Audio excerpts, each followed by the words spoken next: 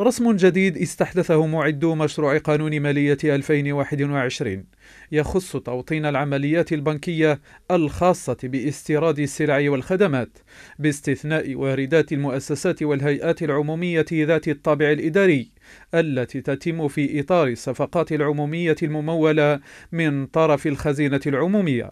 وهو ما يرشح أسعار كثير من السلع والخدمات خاصة المستوردة إلى الارتفاع بدءا من السنة القادمة. ويرمي نص مشروع ميزانية 2021 إلى وضع قيود على عمليات تحويل العملة الصعبة باتجاه الخارج تحت غطاء الاستيراد.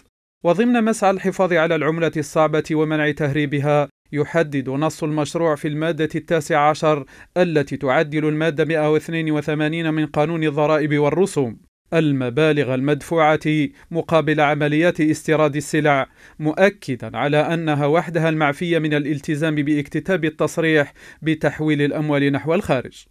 وفي إطار مكافحة تهريب الأموال وتنظيم تحويلها يشدد نص المشروع أيضا على ضرورة التصريح مسبقا لدى المصالح الجبائية المختصة بتحويلات الأموال التي تتم لفائدة الأشخاص الطبيعيين أو المعنويين غير المقيمين بالجزائر. في حين تعفى المبالغ المدفوعة كأجور لعمليات استيراد السلع.